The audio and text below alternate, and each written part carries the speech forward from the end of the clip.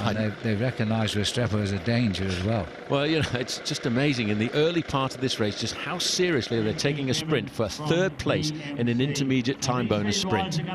Well, he's one of the few Colombian cyclists who really can uh, turn a fast pedal. And look at that, they can't get near him here, I don't think.